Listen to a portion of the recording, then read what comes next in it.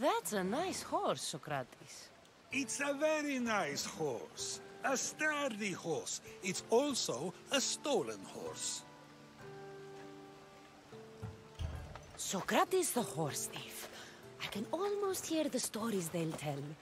Aristophanes will love this. Unfortunately, those stories would be entirely fabricated.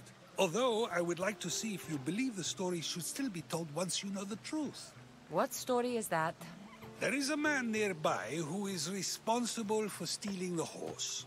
I've been contemplating the proper course of action, but I'd like to know what you think is right.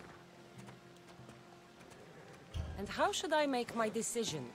Your thoughts are your own, but speaking to the thief himself may help you decide. Can such a crime be justified? It's an interesting thought. Where's the thief now? I told him to wait by the stables southwest of here. If you caught him stealing a horse, what's to say he won't just run away? The hope of keeping the horse. That's where you come in.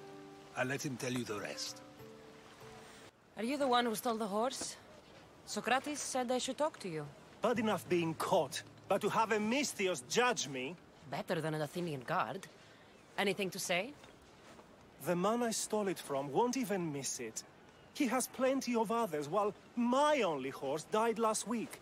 If I had the drachmae to buy a new one, I would ha- Did you steal the horse to use it or sell it? I have a family to feed, and this horse will help me on the farm. Plus, I have no other way of traveling right now. There's no other option?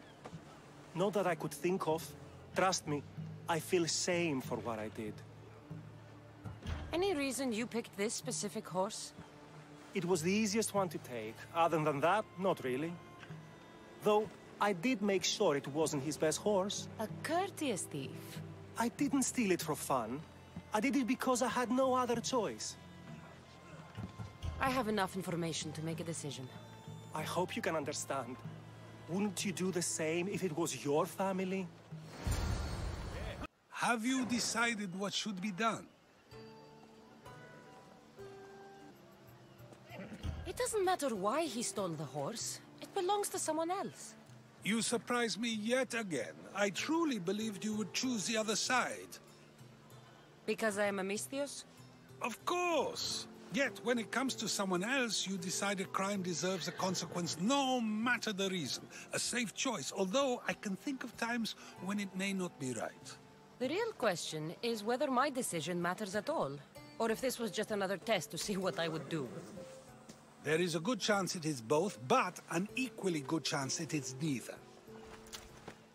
Now you're not making sense on purpose. Let me ask you one more thing. If one man kills another in order to save many, can his actions be considered just? Or should the man be punished? If the action was for a good reason, then he is in the right. So, in times like these, people like us get to determine the law. Many would believe a murder still deserves consequence. The people whose lives were saved would disagree. Then perhaps making choices that affect the most people for good is a correct path. Wouldn't you agree? Are we done yet? I can't stay here all day. Of course you can't. It's a luxury few can afford. Even those with the time for it often lack the mental capacity for such things. Okay.